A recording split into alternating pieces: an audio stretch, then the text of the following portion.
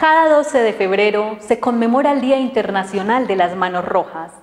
Antena 4 y la Administración Municipal se unen a esta fecha, recordando a las más de 8.000 personas que han sido víctimas de este fenómeno y hace un llamado para que se respeten los derechos de los niños, niñas y adolescentes.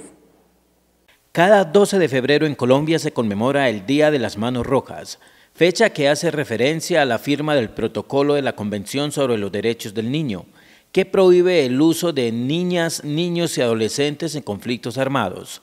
La Administración Municipal de Jardín conmemoró esta fecha manifestando el rechazo al reclutamiento de los niños, niñas y adolescentes por grupos ilegales. Desde la Alcaldía Municipal de Jardín nos unimos como un gesto de solidaridad con todas las personas que son más de 8 mil víctimas de este flagelo y desde este municipio de Jardín hacemos un llamado a todos los colombianos para que no permitamos el uso ni el reclutamiento de nuestros niños, niñas y adolescentes y que hagamos respetar sus derechos.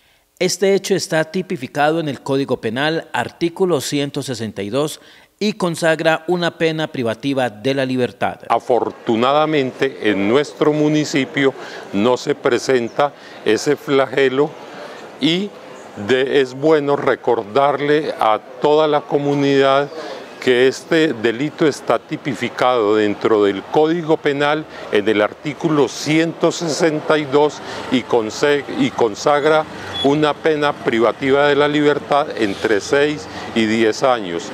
La Policía de Infancia y Adolescencia invita a toda la comunidad a denunciar cualquier acto que vaya en contra de los niños, niñas y adolescentes. El integrante del Grupo de Protección a la Infancia y Adolescencia del municipio de Jardín conmemora el no reclutamiento de nuestros niños, niñas y adolescentes.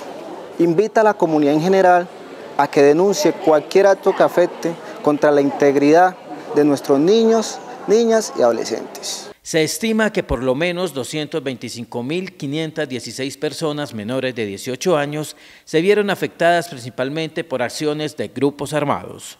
Esta es una fecha para alzar la voz, para construir paz y para garantizar los derechos de nuestros niños, niñas y adolescentes. ¡Basta ya!